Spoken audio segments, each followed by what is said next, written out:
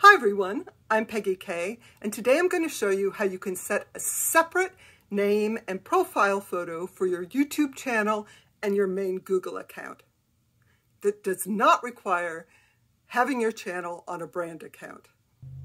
What that means is that you can use your real name or business identity for Gmail, chat, and other Google services and have a completely different identity for your YouTube channel.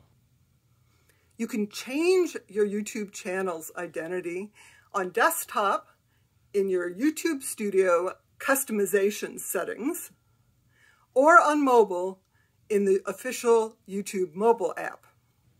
A word of caution. If your channel has a verification badge, like mine does, changing the channel name will remove that badge.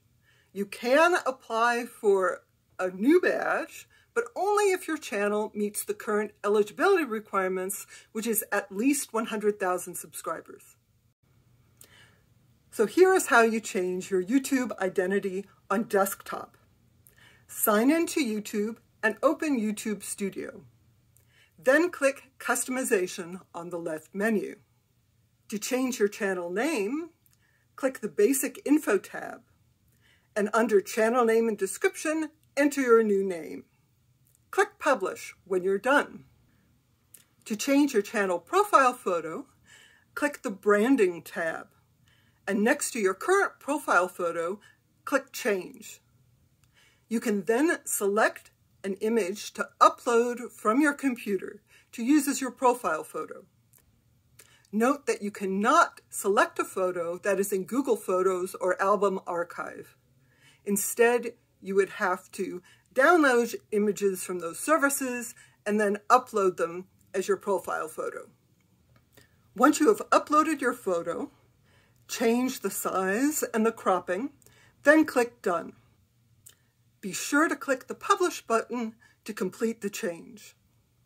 To change your identity on a mobile device, open the YouTube mobile app, then tap your profile photo at top right and select your channel.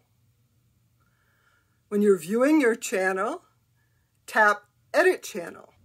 You can then tap the pencil icon to the right of your current name to change your name, or you can tap the camera icon on your profile photo to change your profile photo. Your profile photo can either be an image on your device, in one of your apps, or you can take a new photo to use as your profile photo.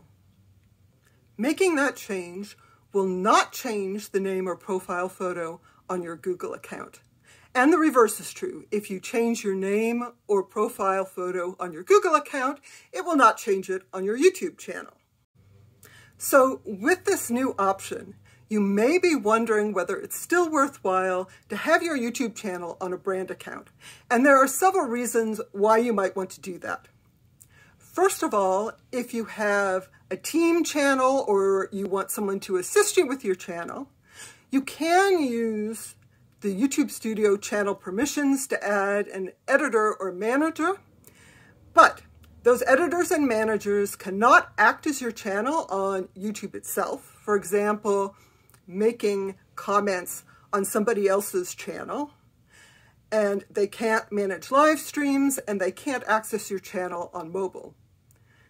Whereas a brand account manager has full access and can act as your channel anywhere.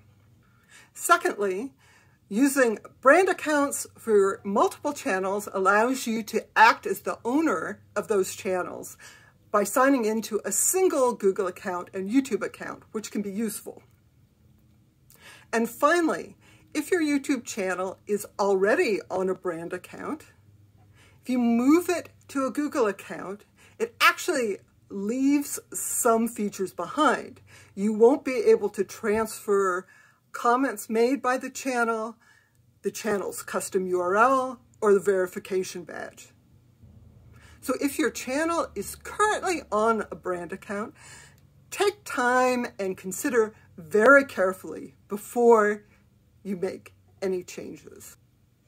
If you found this video helpful, be sure to subscribe for more YouTube, Blogger, AdSense, and other tutorials.